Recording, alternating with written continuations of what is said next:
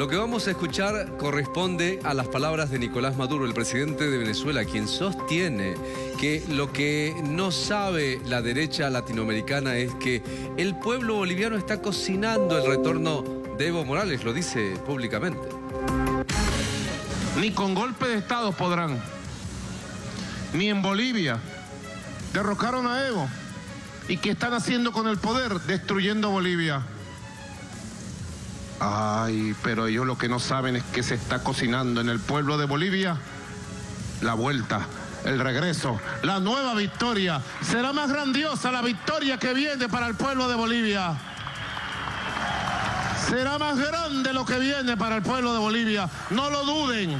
Así será. Evo volverá hecho pueblo, hecho millones, con su pueblo con los cocaleros, con los campesinos, con los indígenas, con los obreros, con la clase media, con los habitantes de rurales, con los habitantes de ciudades.